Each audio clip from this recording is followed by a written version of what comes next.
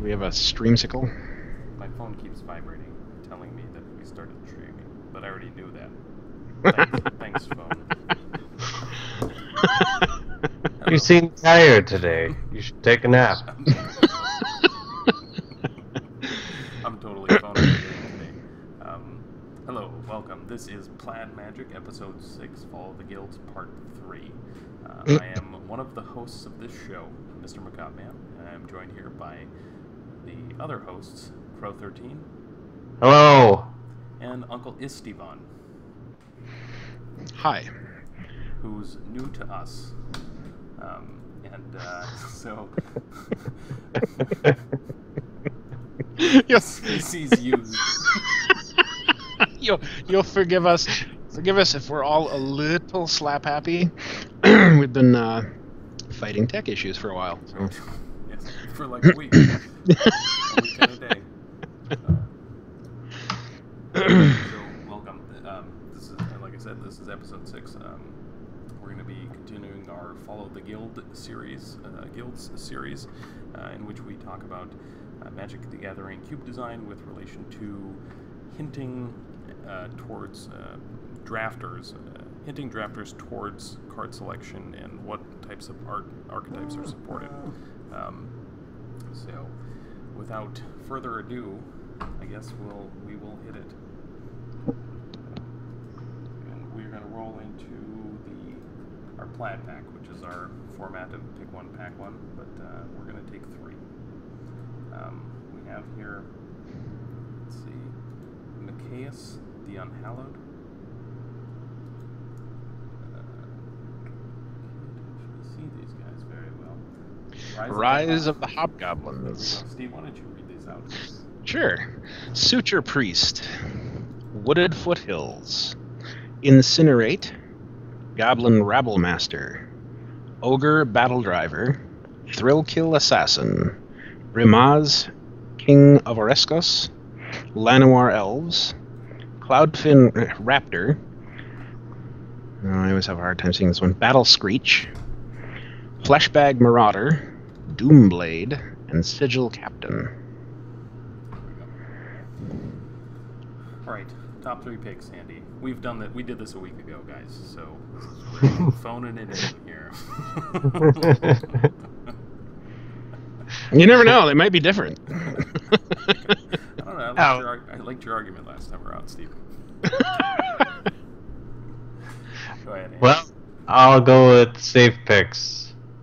Uh, Doomblade, removal, Bla- uh, Battle Screecher, fun card, and um, Land Elves. All right. Llanowar, really? Really? Llanowar.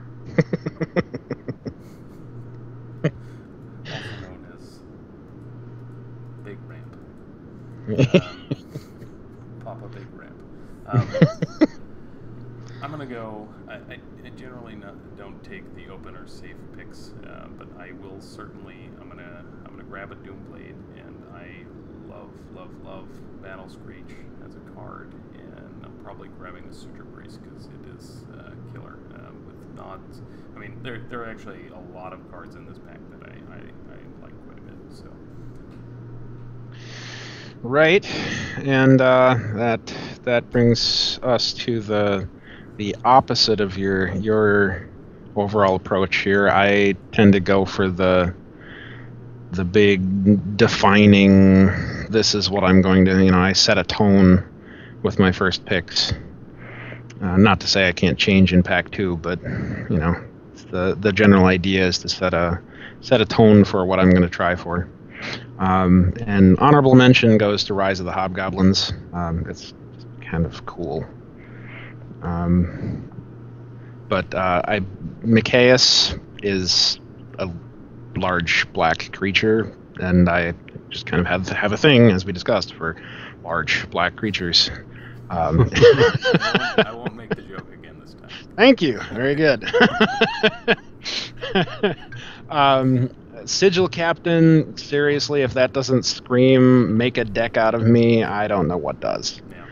Um, and I really, I really love the Ogre Battle Driver. Um, that guy just kind of gets my juices flowing for. I'm, I really, I'm not, I'm not working towards that. Seriously. I love the numbers, Steve. Yeah. Well, it's never meant to go that way. It's really never meant to go that way. So you just enjoy it. Like, almost a perfect, like crazy uh, pyramid here. If you just go up from Sigil Captain, then up and over Brimaz, up and over Suture Priest, down and over over Battle Driver, and then if you shift Battle Screech over one, you've got yourself a nice, nice red, green, white tokens uh, deck. Yeah, I mean, as mentioned not that long ago, there, over half of this pack interacts nicely with Sigil Captain. Somehow or other. Yeah, this this looks nice. All right, well, uh, I think we're going to head into the uh, Follow the Guilds section. This uh, week we're going to be discussing Selesnya. Um, and uh, in preparation for this, we spent quite a bit of time reworking this section. It's part of why we do this series is so that we take time to focus on uh, on the different modules of our cube and, and ensure that we are we have some sort of justification for, for what we have in there. So, without further ado, um, Counters Lords is uh, the, the archetype that we fully support in, uh, in Greenlight. Um, as we do with all of these Follow the Guild sections, um, we're going to review the, uh, the turns to win. Uh, the goal is six to nine, so there's actually a pretty high spread on this, but uh, um, there's quite a range. Let's uh, go into level of commitment. Um, that's in a cube that isn't ours. The level of commitment is is high. Um, to fully build this out with counters lords would be quite a task for a, a, a standard cube. Uh, draft priority and order is going to be counters lords. These are actually not in order, I believe. I don't know. No, I don't think they're necessarily in order. No. Right. So it's a misnomer. Um, uh, ETB and self counter cards. Uh, Enter the battlefield. counter booms. So I think we're all familiar with the, terminology. We'll get into that later. All right, we're hopping over to the counters lords section. So this is one piece of the puzzle that makes uh, counters lords supported as, a, as an archetype. Uh, just give a few examples. We've got Elite Scaleguard, Enoch Bondkin, and Bramblewood Paragon. Uh, Andy, if you were to talk about one of these as being something that uh, is useful to discuss from an archetype standpoint, of supporting this type of build, uh, which one would you pick and why? Well, I think Elite Scaleguard's the most interesting because I think you could possibly put that into any cube and be fine. You don't really have to work out for it just because of it has everything built into one package. Okay. Uh, other than that, just it's nice because in our cube we didn't really have to. We just added had to add the counter lords to make it work. We didn't necessarily have to do anything else to incorporate this into our cube. Dan, we have a request for you to turn your volume up just a little. Wish I could. I'm just gonna, just gonna. Talk real loud. There's no. There's this. Um, I'm gonna skip to the next slide, uh, Andy. If you want to, if you want to work on that, um, go ahead. So uh, the next section is ETB and self counters that we have here as examples: Den Protector, Strangleroot Geist, and Cloudgoat Ranger. And I'm gonna work on my microphone.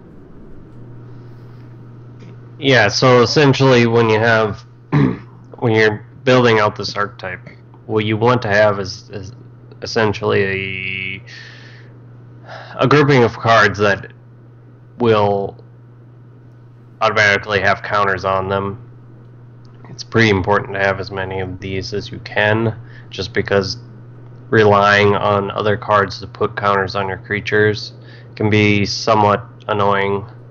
Um, so, with the card selection that we had here, we have Den Protector, which obviously has the Metamorph uh, added to it. And this was a nice card because it just is a fairly efficient card.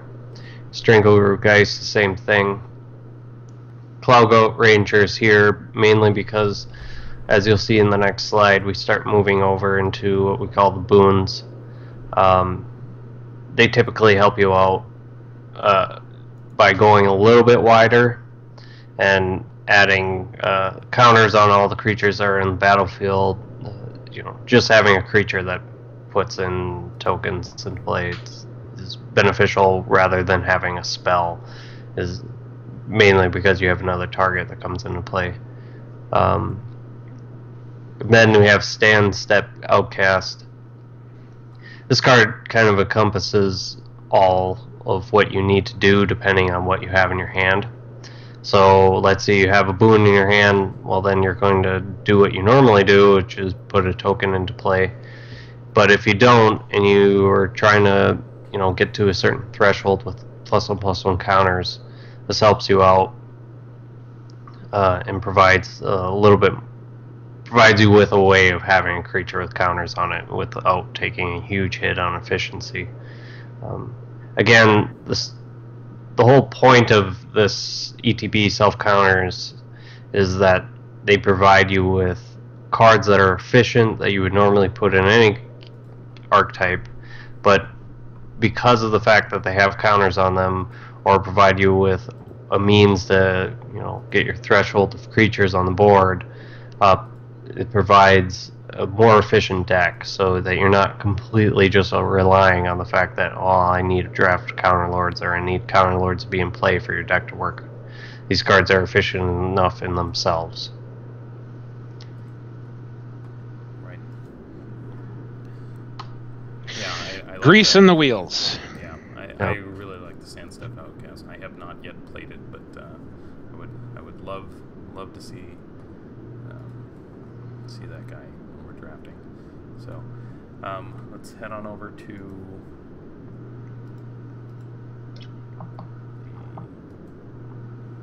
the counter boons section.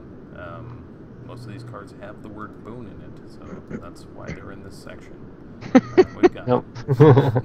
Titania's Boon, Gavony Township, and Meadow Boon. So, um, obviously, recurring boon is a big deal, and we've got the package for for recurring boon. We've got Mikaeus, um, Mikaeus Lunarch, um, but uh, these aren't. Uh, these Titania's boon uh, isn't, uh, and Meadow boon aren't. Uh, Leaves play, yeah, sure. They could be combat tricks.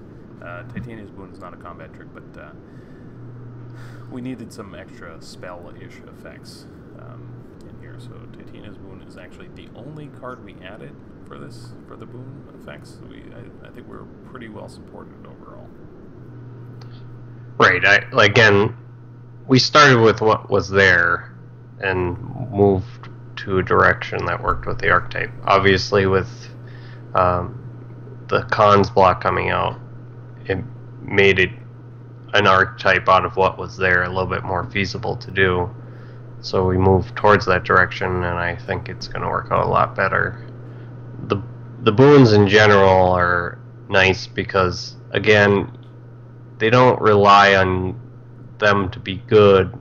Like they don't rely on you to have counter lords out and play for them to be good. They're good on themselves. Gavony Township's always been a really good card. Uh, Meadowboon's always been a really good card. And Titania's Boon, I have a feeling that's probably one of the new cards Flonase that Allergy might Relief eventually come Spray. out. But Now available. really, you're with these cards. This is your strategy where you want to go a little bit more wide, and these and other cards that we have in our cube uh, really benefit from doing that.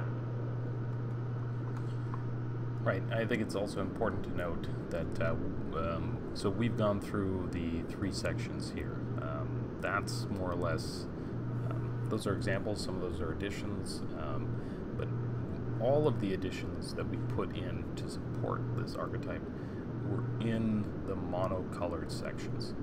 Um, so we we first look at that we look at what's there, what's supported and or supportable and fun and draftable, uh, and then and then we'll move into. So even this is a so, so this the name of this cast. So this is the follow the guilds segment of our of our uh, podcast series.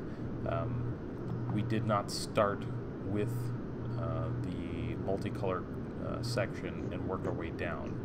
We looked at what was there in the monocolor section and then built it up. So now uh, there might be a swap or two in the in the the gold section, but that's that's step two. Right. Right, Andy. Correct. you don't have to ask me. I, we've had this discussion before. I was just looking for, you know, uh, sometimes I say things that are incorrect. I uh, so we were going to actually drop one of these. We're moving into the never been planned section for uh, those of you who are new to our cast. Uh, that is the section where we go through and find a card that's never been played, and we remove it. Uh, for something else. Plaid. Plaid. Steve has a list, I think, of about 360 cards that he would like. to it's not 360. It might be 260. it's not that bad. this is his favorite section. Fine This, this, them. this, this- this- this section will get a lot of play in my house. Yeah, all right. So, so, we were Oh, actually gonna cut this, this section short. I actually just basically didn't do it before we got on the cast here uh, due to time constraints. Um, so we're gonna we're gonna zip through it, and I am going to.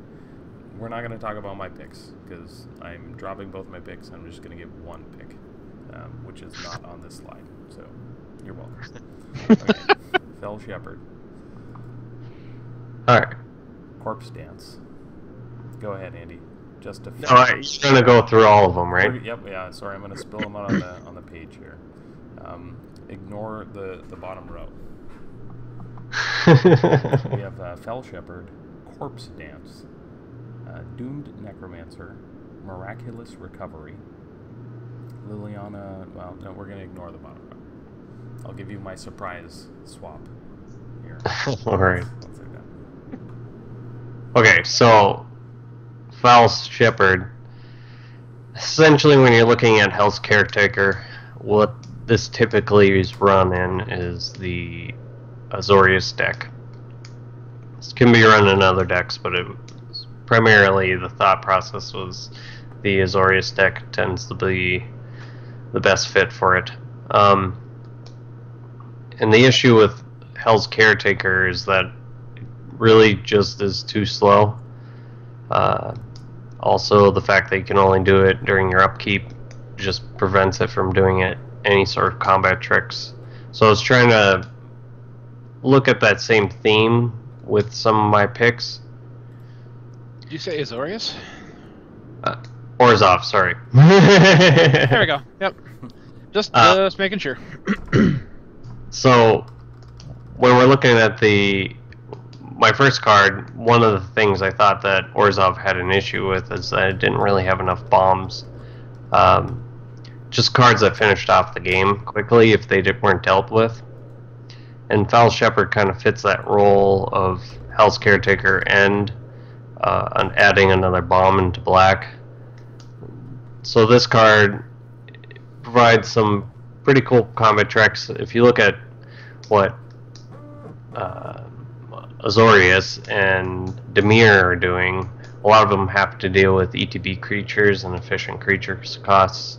Um, this kind of plays into those cards that are already existing into those two colors because of the um, blink deck that exists there, and then the tempo-based strategy that exists. And we can you can definitely go off with this card. On top of that, it adds another slight uh, mass removal with the sacrifice outlets. Um, putting minus two, minus two on a creature is most certainly going to add this card to win most combats or remove, you know, chump blockers. And as soon as it hits in, you just get all those ETB creatures back in your hand. So I thought this was an interesting pick. The mana cost might be a little bit too prohibiting, but it definitely seemed interesting to me. Um, then for Corpse Dance, this card seemed like the best replacement if you're trying to go with a like a The combat tricks. right a combat trick, but you know being able to have it recurring but not have it so susceptible to removal. Mhm.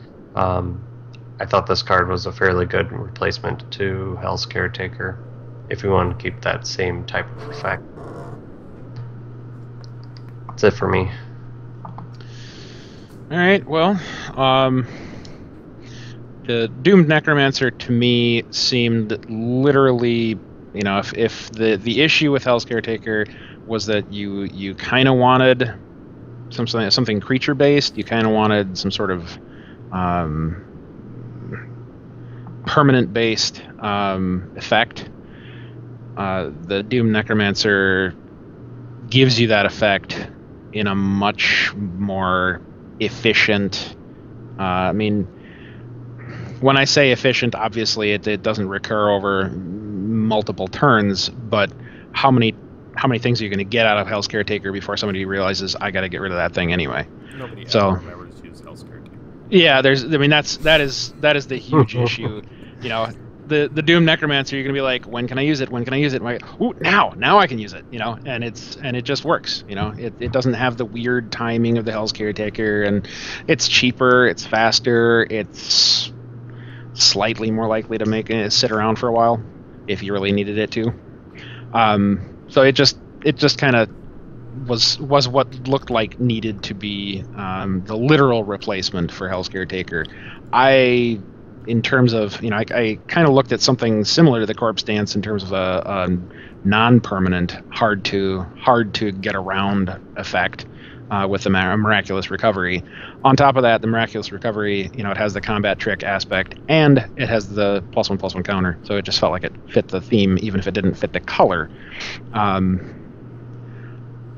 I still like it, but there's a place for it, I think. I mean, it's, it's certainly not outside. It, it won't replace Hell's Caretaker uh, Right. necessarily, but I, I wouldn't be surprised to see this in the queue uh, sometime very soon. Okay, my pick. Forget those guys.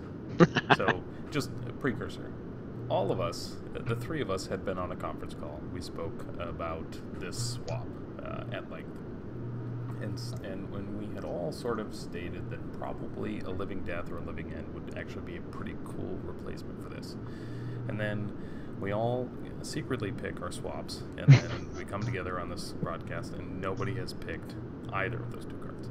So the argument against Living End. So the cool thing about Living End is that like it's this weird build-up interaction, like that fun run up to.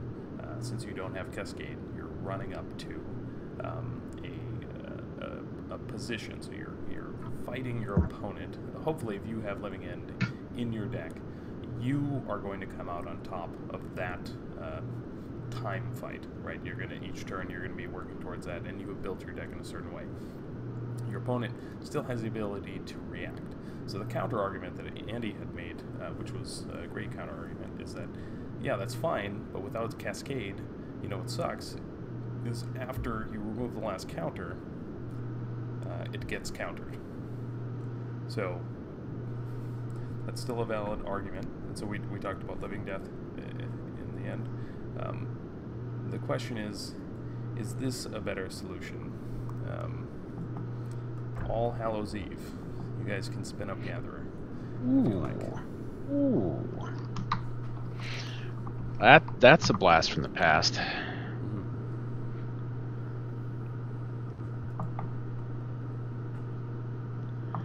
All right. Why don't you read off the card, Dan? Right, it has totally irrelevant counters on them, but um, it is two black, two for a sorcery. Uh, exile All Hallows Eve with two scream counters on it. At the beginning of your upkeep, if All Hallows Eve is exiled with a scream counter on it, remove a scream counter from it. If there are no more scream counters on it, put it into your graveyard, and each player returns all creature cards from his or her graveyard to the battlefield. So it's half. It is uh, Of- suspend before suspend was there, Right. but does not count as a spell second time around. It is placed in your graveyard. Uh, it, it becomes a sorcery again, but it's not being cast at that moment. Right. So it's sort of the two, you know. It's a mishmash between. It's a, Huh. I thought it was a neat card uh, to consider for this type of role. Um, I think a lot of and a lot of the uh, old school players might enjoy casting this at some point. Absolutely. Yeah. Um. The thing that's that sort Huh. of sucks is that it has the word counter on it, but it's totally like it's not a suspend counter. It's not anything. It doesn't mean anything except for it has the word counter. on it. So Yeah, Huh. but there's scream counters. That is relevant. Yes. I believe that there's something that I, I think WotC was saying something about that they were going to have some some cards in Origins that interact with scream counters. Oh, really? No. That's fun. that would be awesome. really? so, um, All Hallows pick is All Hallows. All Hallows Eve is a cool pick. All right. So just ran across it in the binder, and I said, "Hey, hey, Hey, hey, hey. out." Yeah. Anywho, um, so um, uh, my vote is on All Hallows Eve because we were talking about that type of archetype and, and, and that type of mechanic and getting it into the cube.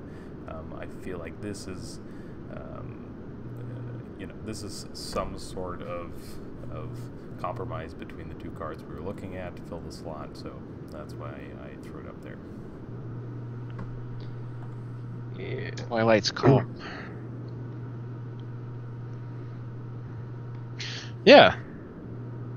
I like it. It, So it, they- it still gives you that, that yeah that that interesting hmm. period of how fast can I fill my graveyard?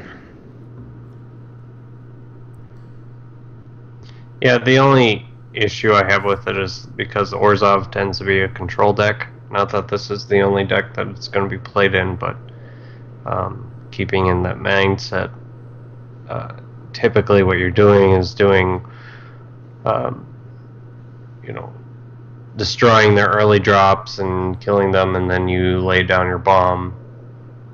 Uh, the Right, thing I liked about right. the thing I had an issue with, I mean, the thing I liked about the most with Living Death and Living End was the fact that it also was a Wrath effect on it. The fact that it had the Wrath effect, you could at some point switch modes and decide, okay, I'm just going to um, let these creatures survive and start chump blocking. Now, you could obviously start chump blocking, but it's more susceptible to not quite, you know, ending the game like it needs to be at some points. Not to say that this role needs to be doing it, but uh, I mean, this is definitely a better card than Hell's Caretaker and does more interesting effects. So, Right. Um, so you know, it's funny because when we were talking about um, uh, Living Death and Living End, I was thinking Orzhov. Um, when I saw this card, I was thinking more something like Rakdos, like Suicide Rakdos. This is a card, a reanimation card that that deck. Just funny because I think Dimir. yeah, I was thinking Dimir as well. I don't know.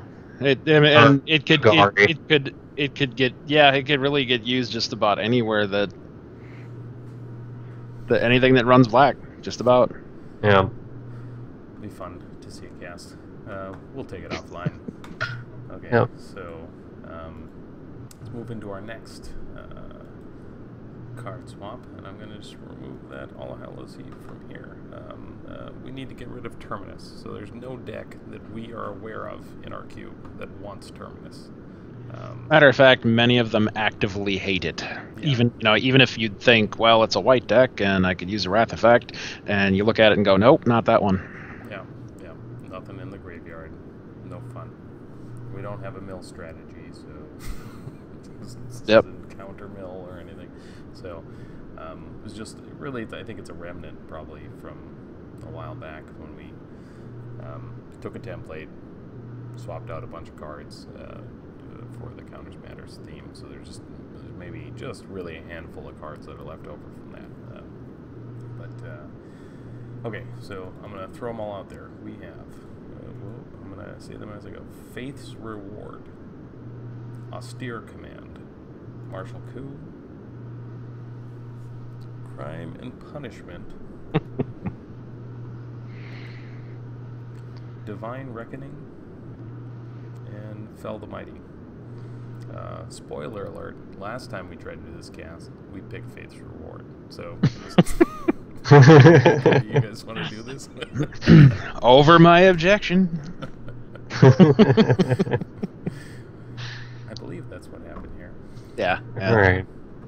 So, Faith's Reward. Uh, again, thinking of that same mindset of what cards.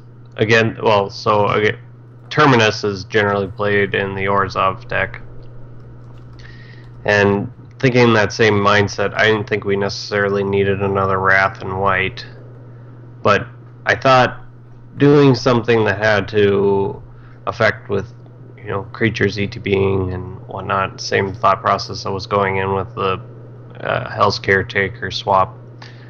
Faith's Reward offers another way for you to do some combat tricks and gain some additional uh, benefit from those ETB creatures. Uh, the command command is another thing where we don't typically like to put like artifact and enchantment removal. So this offers another effect like that, as well as also providing another another wrath, but more looking at your board state and giving a little bit more options for it.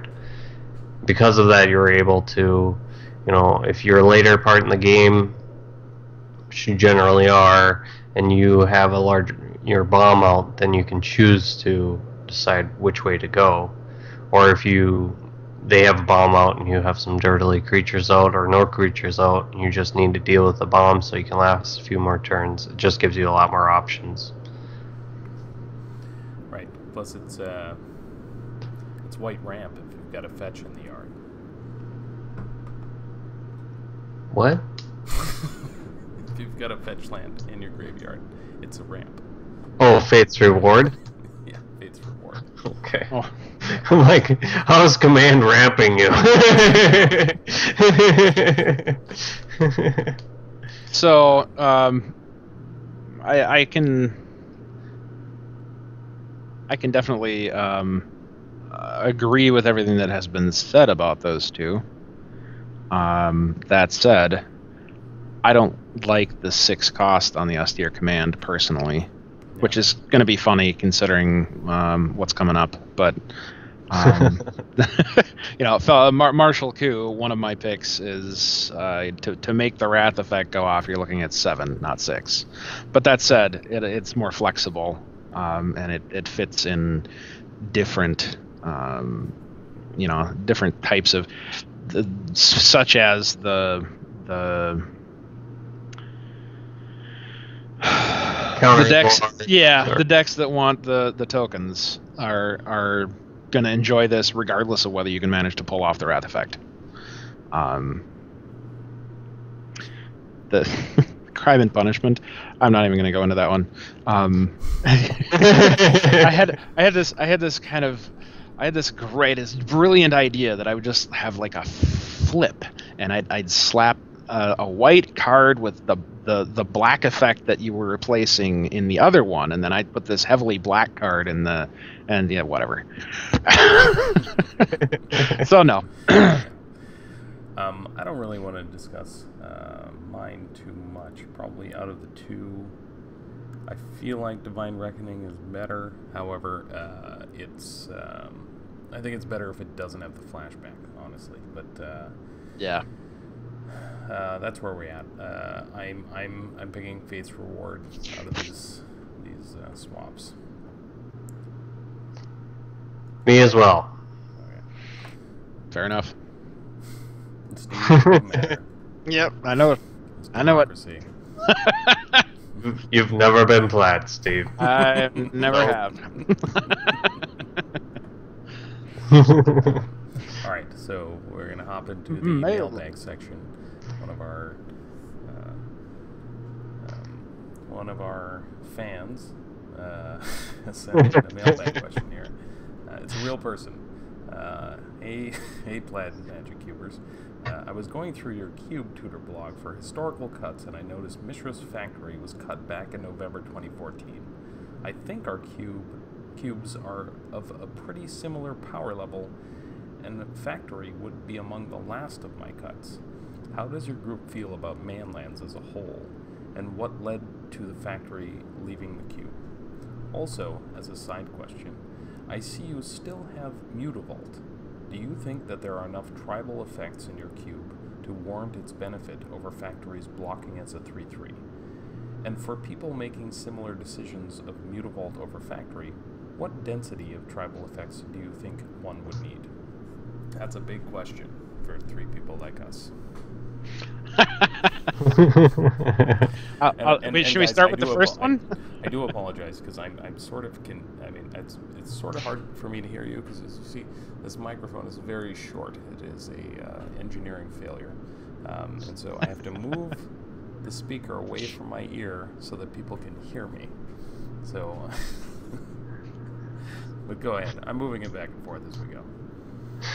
to question number one, um, being uh, being a cuber, um, I, I can tell you that I don't care about manlands a bit. Um, they, as far as I'm concerned, they are an afterthought at best, um, and I I know that's not true of other people, um, but I I it they don't they certainly don't seem to have any relevance in this cube. I thought, we agreed last time we were going to be gender neutral on the describing lands that become. Oh, I'm sorry. I'm sorry. Thinglands. Thinglands. Person lands. yes. No.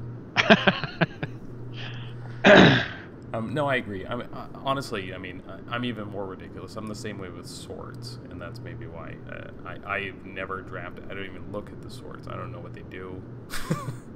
They're, like equipment. I guess they're good.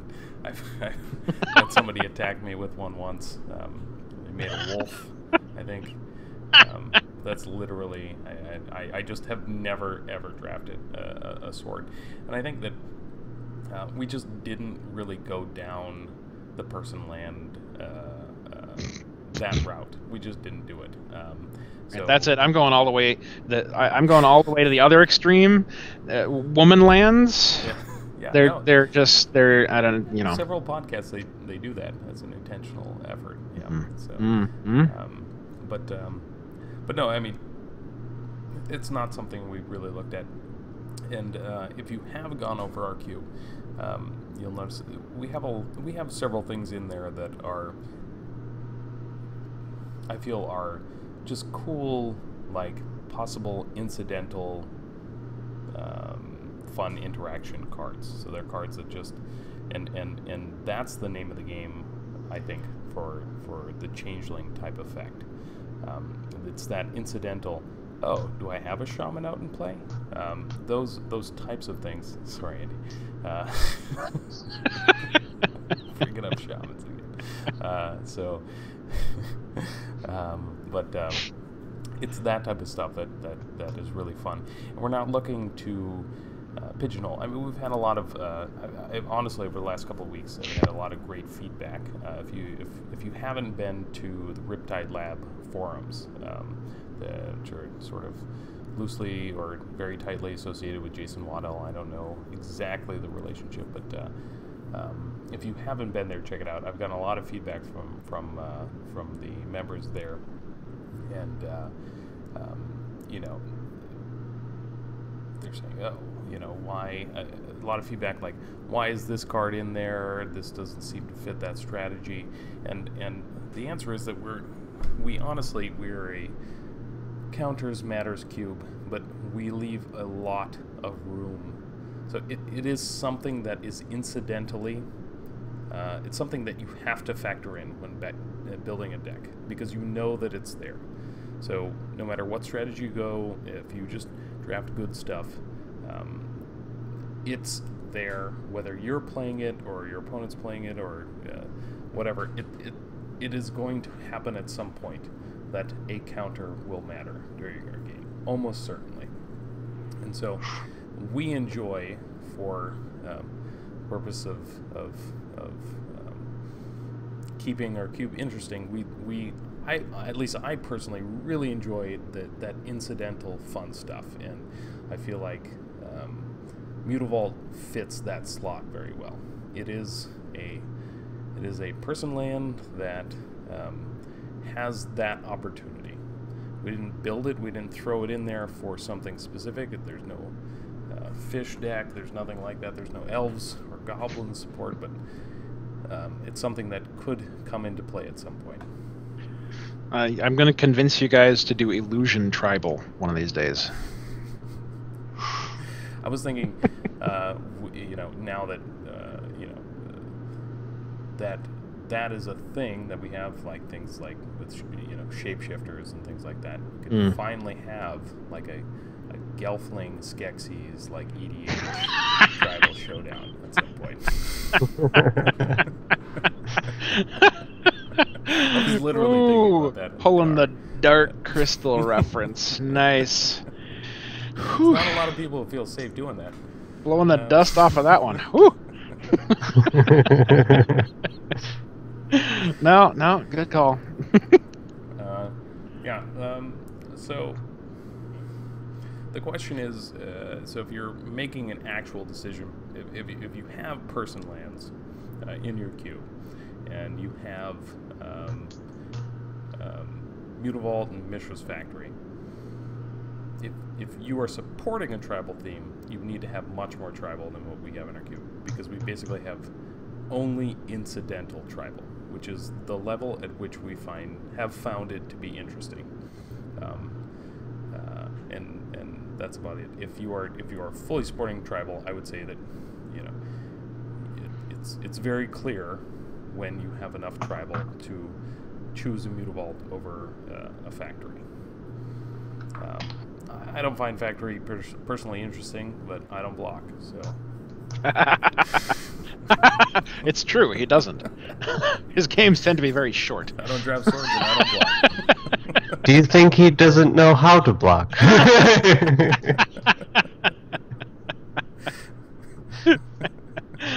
uh, yeah. It's that. It's that. It's that. Uh, I'm just old school. We didn't we didn't do it. There's no banding, so I stopped blocking after band after the. Yeah, yeah, it's really.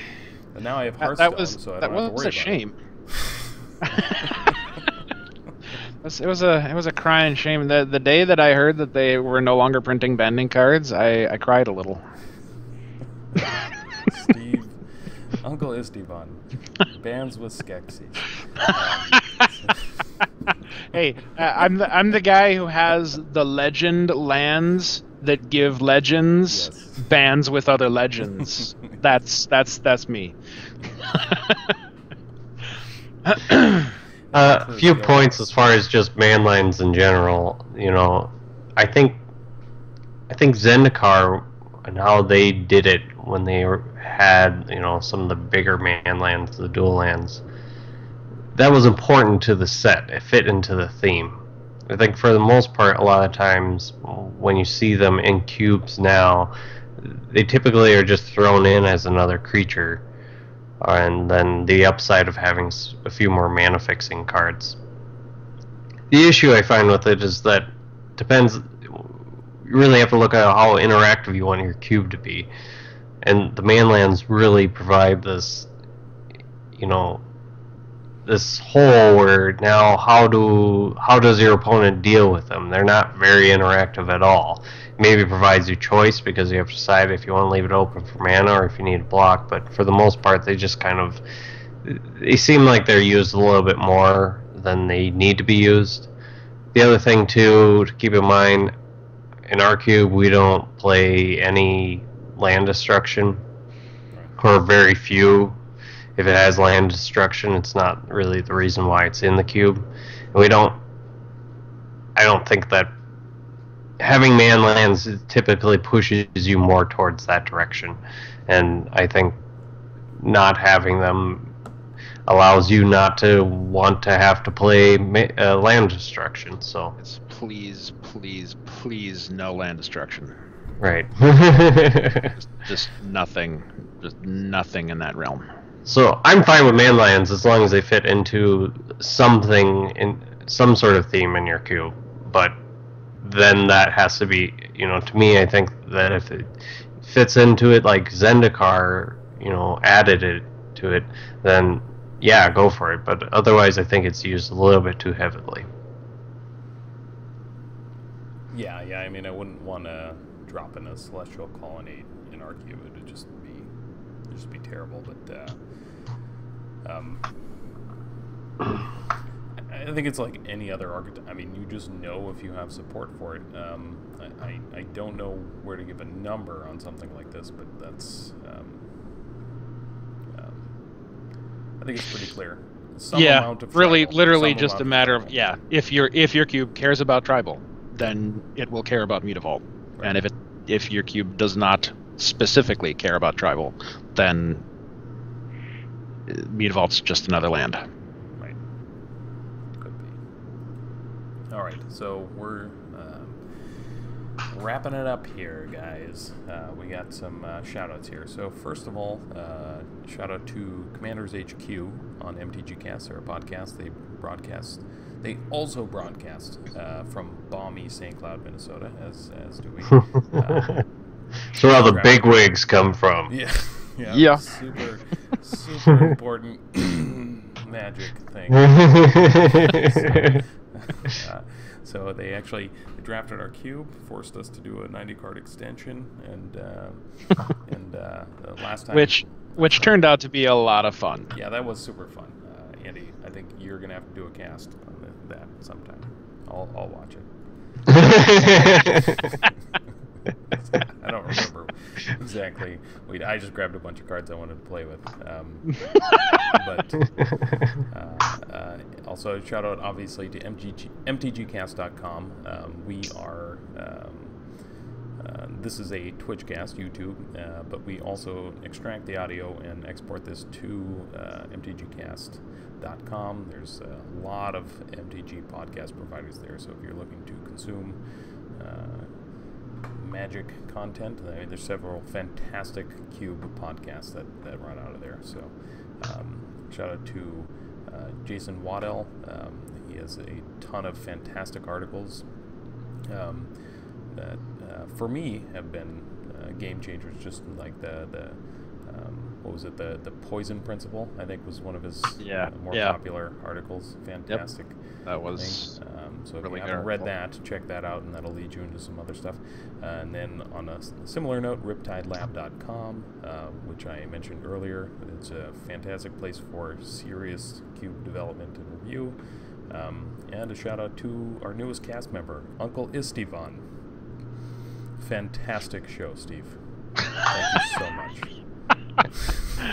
Shout it out. well, of course. Let it all out. Yeah.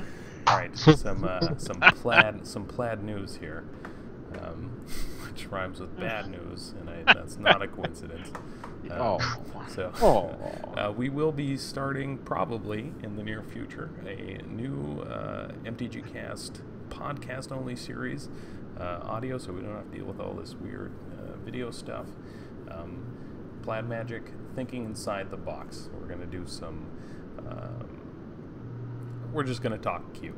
Uh, it's going to be less structured than, than these casts are, if you can imagine that.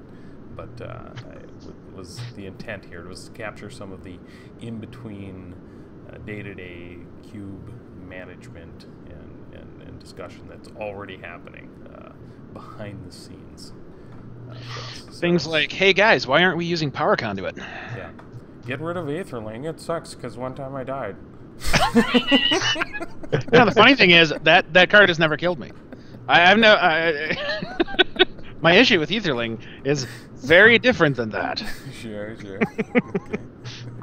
Because what the hell is ether? no, Phlogus, phlogiston. I can I can tell you what ether is. An etherling? Now that's just wrong. But you spray into like the like air intake of an engine to get it to start. yes, highly highly flammable. In the winter, yeah. All right, so our next cast um, will be uh, Thursday, June 18th at 10 p.m. Central Standard Time. We'll be covering, we'll possibly be doing a Magic Origins review. Uh, we're actually recording this on uh, on uh, May 28th, so my expectation is that we're going to get um, some spoilers over this uh, GP Vegas thing that's happening.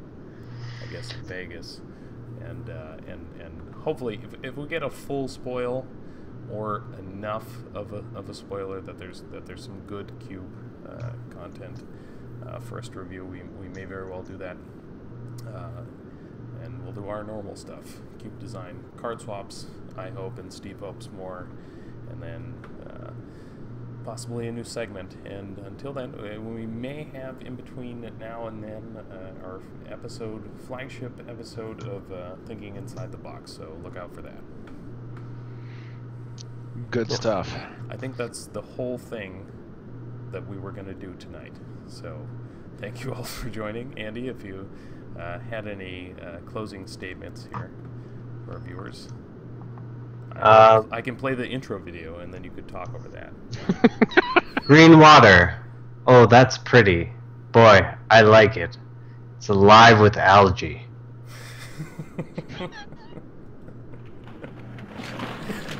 That's Plaid Magic, and we're signing off. Have a good day or evening. Peace out.